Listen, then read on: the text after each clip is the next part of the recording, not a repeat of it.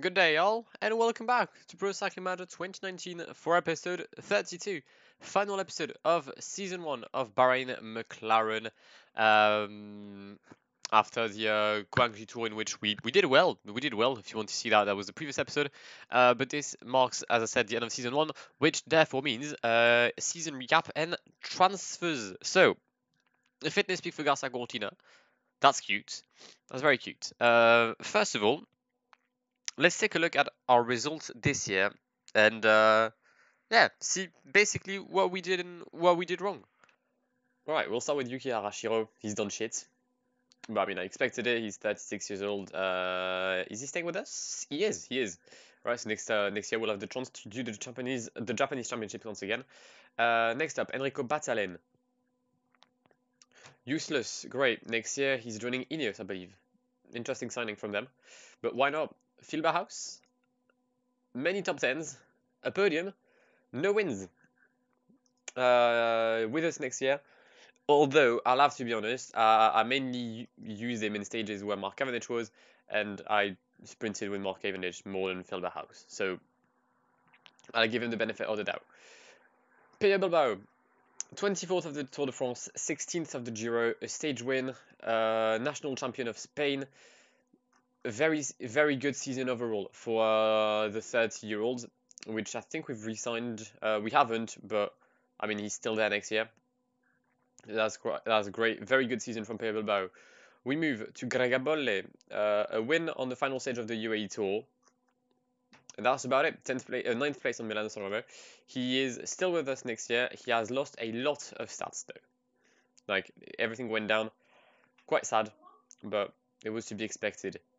Santiago Buitrago, only one win I think. Yep, the uh, National Championships of Colombia.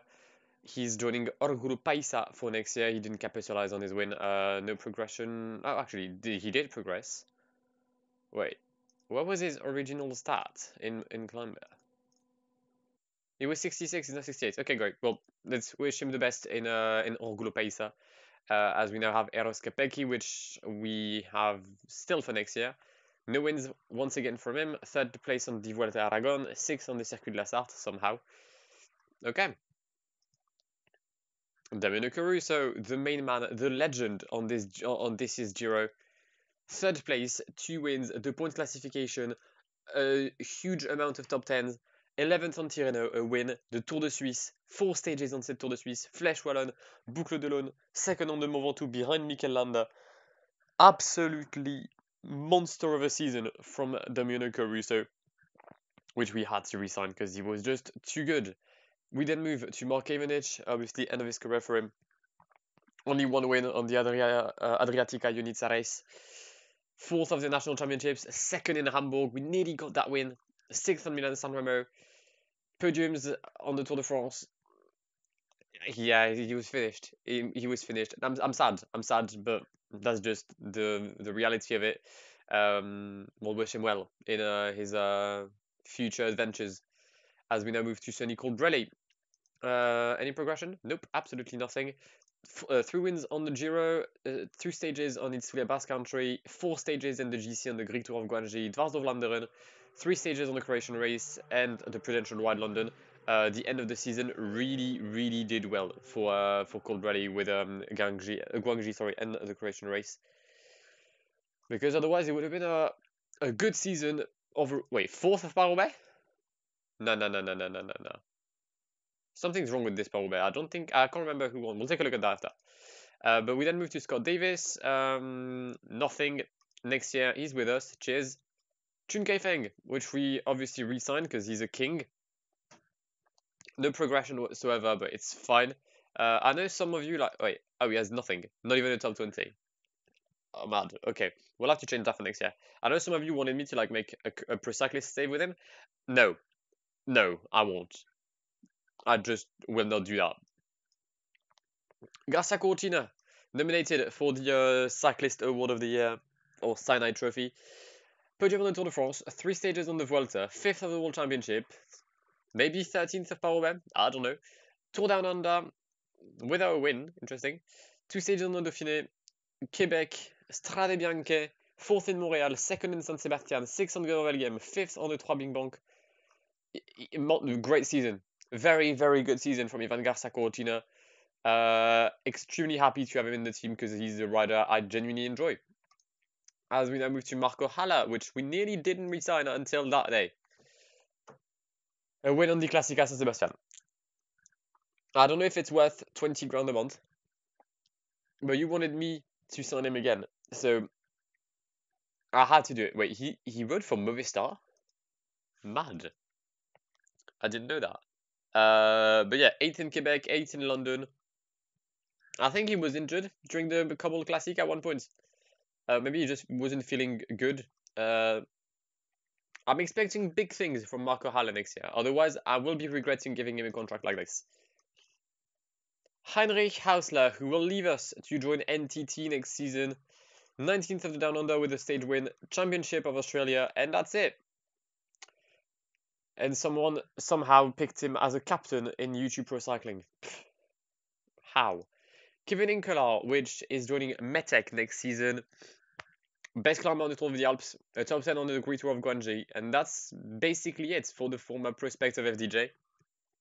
We'll wish him well uh, as we now move to the winner of the Vuelta a España and second of the Tour de France, Mikel Landa.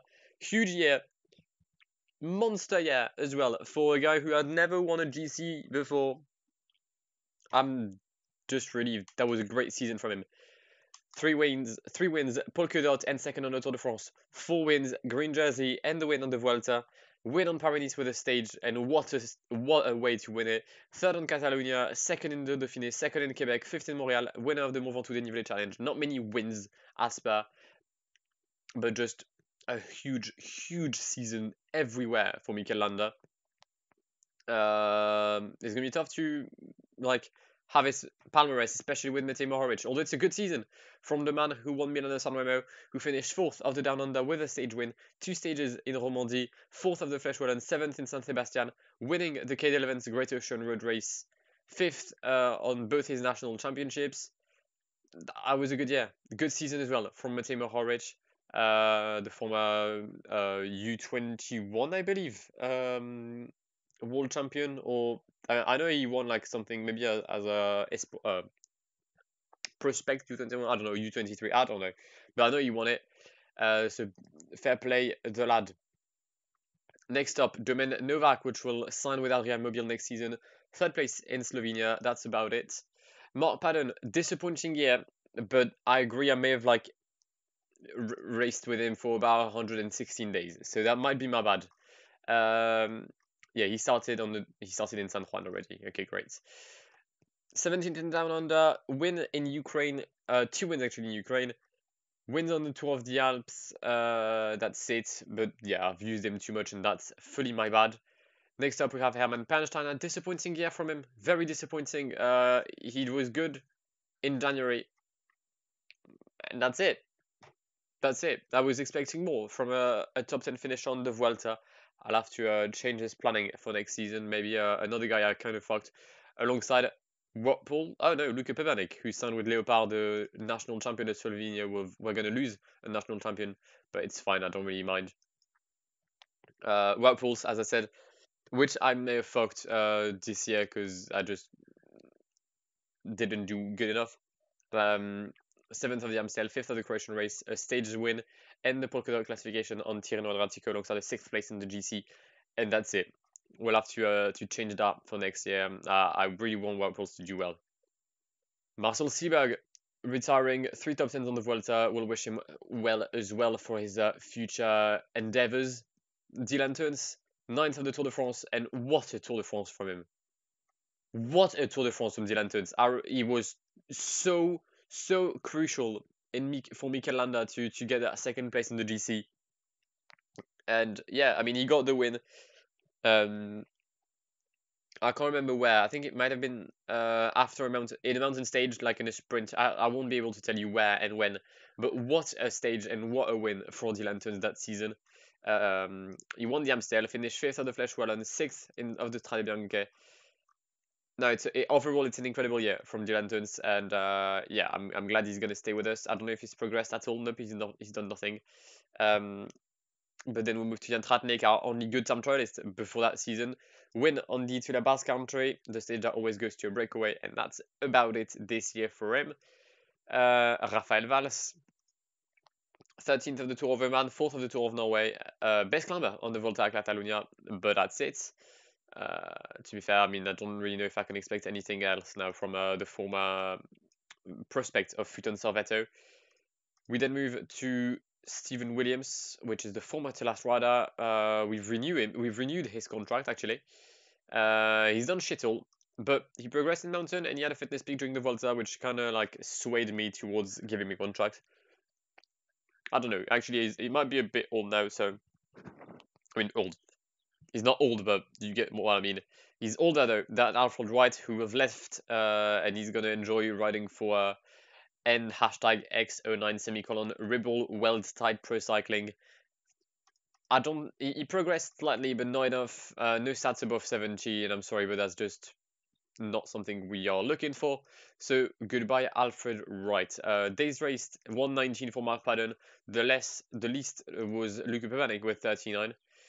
Uh, okay, okay, okay, okay. Let's take a look now at the results there was this year, and we'll finish on the transfers. Grand Tour wise, Tom Dumoulin won the Giro ahead of Carapaz, Caruso, uh, in a very interesting final stage to time trial, which kind of shocked everyone. Um, Enric Mas in second place. Oh, sorry, Enric Mas, best climber, my bad. Uh, Dominic Caruso wins the points jersey with Egan Bernal in white.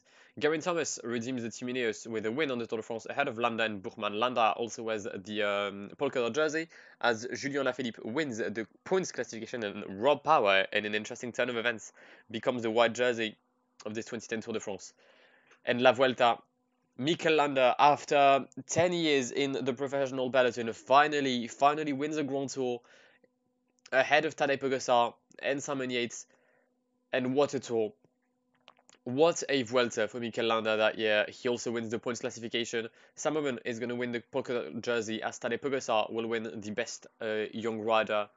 But I, it's just an incredible, incredible year for Mikel Landa, which we'll probably vote for in the um, Cyanide Trophy later on in the video.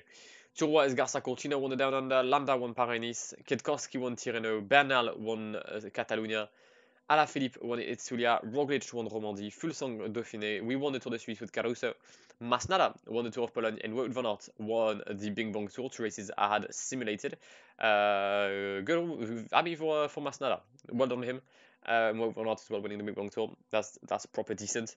Uh, we've won 3 out of 10, that's a 30% ratio, okay. Alright, it's a bit disappointing.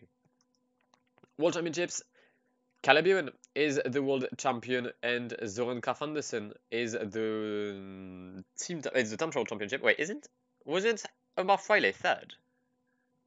Did I get jumped on the line with Alberto Bettiol? I can't really remember to be fair. But Caleb is the world champion for next season, and Søren Kragh Andersen in an interesting turn of events becomes uh well will be wearing the uh, rainbow jersey for uh, for the team Sunweb, I believe. Yep, for the team Sunweb next year. How about Caleb Ewan? Lotus that as well. Alright, no changes for them. National Championships. Uh, we'll just take a look at the biggest one. Mørkøv in Denmark, Yates in the UK, Démare in France, Bilbao in Spain, you, uh, you see that. Moscon in Italy, Tim Merlier in Belgium, Groenewegen in the Netherlands, Greipel in Germany. Uh, ooh, we move already to the, to the monuments.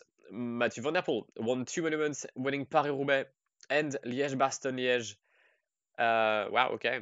Mathieu Mohoric wins San Remo. Wout van Aert won the Ronde van Vlaanderen. And Julien Alaphilippe rounded up the season with a win on the Primavera ahead of Schachmann and Bauke Mollema. Two podiums uh, on Schachmann for, uh, for, for Schachmann on these monuments. Uh, Schachmann we, have signed for next season, so hopefully we can uh, have him on the first place of these monuments for next year. As we now have the other classics, Stuyven won the E3 BinckBank, Viviani won Gent-Wevelgem, Dylan Teuns won the Amstel, Schachmann won La Flèche Wallonne, somehow Marco Haller won San Sebastian. Viviani with another win in the uh, EuroEyes Cyclassics Hamburg. Pascal Ackermann won Bretagne Classic. Garcia Cortina yet again won Quebec as Julien Alaphilippe won Montreal. Uh, yeah, there's, there's one odd name in in bang in the middle in Marco Haller, but it's fine. Grand wise, we've already seen that. Okay, all right. Let's take a. You know what? Let's vote for for the, the cyclist of the year. We're going to go Mikel Landa first, then Damiano Caruso, Ivan Garcia Cortina, Sonny Colbrelli, and we'll go with Caleb Ewan because he's a sound guy. Right. Now, transfer market. I know there is this message with all the biggest transfers. We won't take a look at this one already. We're going to take a look at, first of all, our team for next season. And then we'll move on to the other World Tour teams and I'll see if like Conti Pro or Continental have pulled their madness for next year. Alright, for next season, the team we will be having will be, I mean, we'll, we'll just take a look at who we've uh, added. We've added Carlos Barbero, 29 year old, good in hills and in cobbles and basically everywhere. I think he's a he's a nice signing and uh, adds to uh, the Spanish contingent of the team. Helping us on the cobbles will be Alberto Bettiol. Uh, we've signed him for 65 grand a month. That's solid. Joining us uh, for the time trial perspective of the team, Filippo Ganna, the 24 year old rider from Ineos. I just felt like we needed someone in the cobbles, and um, I'm hoping that Filippo Ganna can be that guy. Alex Lutsenko joins us, kind of like a Matej Mohoric um, type of rider. He's a he's a Garuda who can win absolutely everywhere. Uh, so yeah, he's uh, he's definitely a fit I was looking for in the team to supplement um, Matej Mohoric. Matteo Moschetti joins us as our sprinter to, uh, I mean, give some competition to Phil Bauhaus. Uh, he'll be also in competition with Giacomo Nizzolo, the former sprinter of NTT, who joins us, and um, with Henok Muller Mullebrand. Why did I say this guy already? Maybe because I wanted an Eritrean rider in the team. I don't, I don't remember. Uh, we'll then have three huge names. First of all, the biggest salary in the team, and by far, Thibaut Pinot joins us. The 30-year-old French rider, 82 mountains, 76 in hills. I mean, if there is no roundabout on the next Tour de France, this man will win it. You've heard it here first, and I know you've heard that Cavendish will win the green jersey, but shut up. Thibaut Pinot joins us, and as another huge name joining us, Maximilian Schachmann. Uh, we needed someone to replace uh, Dylan Teuns, who left us. Schachmann was our go-to rider. Yeah, it's just too important to lose, and um, sorry, too important to have a, a leader in that kind of uh, stats. 81 hills, 78 time trial as well. He he could definitely be a crucial on the team time trial should there be one on the on the Grand Tour. And finally, joining us in another Italian sprinter, Matteo Trentin, 31 year old, help uh, can help on cobbles and in sprints. He's going to replace um, Heinrich Haussler technically. But yeah, I'm I'm happy with that. I'm really happy with our, transfer window. There's two riders which we felt to get Mauro Geiger because he wanted too much, and Tony Gallopin because I ended up going with uh with someone else. Uh, but yeah, that's our team for next year. We'll see what that means uh, as we take a look at the teams. Starting with AG2R La Mondiale. They had 29 riders, they now have 30, but they're in Continental Pro. Oh wow. AG2R have been downgraded to Continental Pro. The loss, the losses of Sylvain Dillier, Alexandre Geniez, Matthias Frank, Lawrence Naesen, Larry Warbasse, and Axel de Demont have proved to be crucial for the, the French team based in the Alps, and they're done. Signing Kenny Elissonde, Dario Cataldo, Luke Rowe isn't going to help you. Oh, wow. Well, that's the first shock. AG2R Mondial are gone. Okay. Astana, they had 28 riders, they now have 29. They've signed Michael Matthews, okay, Florian Sénéchal, Davide Ballerini. Was he already at, at a, like Astana two years ago? Oh no, he wasn't. Who's the? I swear there's an Italian rider. Oh, Martinelli. My bad. I conf- I have them two confused. Uh, Ruben Guerrero, Nikias Arndt, Corentin Ermenault, Tom Scully, Marcos Garcia, and some other pricks. They have lost. Oh, they've lost big though. They've lost Jon Izagirre, Alexei Lutsenko, Alex Aranburu, Omar Fraile, and Gorka Izagirre. And Fabio Felline. Yeah, they've lost their riders that are really good all around. Uh, and they've replaced them with. I mean, Sénéchal is good cobbled, Michael Matthews sprint cobbled. Alright, sure. Interesting window from Astana, uh, whose best rider is still Jakob Fuglsang from uh, next year. Bora Hansgrohe, they've lost big. I was aware of that. They had 27 riders, they now have 24. They've lost Pete Sagan to Lotto Soudal. Schachmann to ourselves, obviously. Patrick Konrad to CCC. Okay. Uh, Basken Burgart as well, some other names. Juraj Sagan to Vini Zabù. okay. They have signed Davide Formolo, Edouard Theuns, and Valentin Madouas, and two old two, two, two odd riders. Okay. It's definitely not an improvement for them. Uh, losing Schachmann, Maximian, uh, sorry, losing Schachmann and Sagan is definitely a huge blow. They haven't really replaced them. I mean, can you can you really replace Peter Sagan? I don't think you can. Can you really replace Schachmann? You probably could. Maybe Formolo isn't the guy uh, to, to do so though. Um, but yeah, interesting window from Bora Hansgrohe as we now move to CCC, who've just seen has signed Patrick Konrad. Uh, they are still in World Tour. They have lost big though. They did sign the two Germans that were good in time trial, Alois Stanger and Pete Puda, uh, but they've lost Matteo Trentin, Ilnur Zakarin, Fausto Masnada, Michael Schär, and, and some other guys. And Francisco Ventoso is once again going to Movistar. Are you fam? Are you dumb? What's your what's your aim? Alright. Cofidis. Oh. Oh hello. Oh oh oh. Oh they've lost Elia Viviani. Guillaume Martin, Christophe Laporte.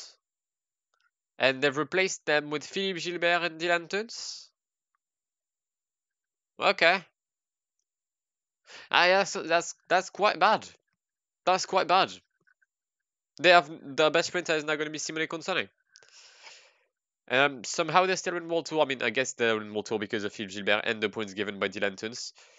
Sure, sure, interesting. But they have, yeah, sprinting wise, they're now gone. Uh, I've misclicked. There we go. Next up, Deceuninck. They are still in Tour. What a surprise. Who did they lose? They lost Bob Jungels to Israel. Oh my god, Israel are going to have Jungels and Nils Politt. Oh. Oh no. Zdenek Stybar has signed with EF, Sénéchal, and Ballerini. We had seen that previously. Have signed with Astana. Um, and they signed Ciccone, Mart, uh, Guillaume Martin, Ilnur Zakarin, Fausto Masnada.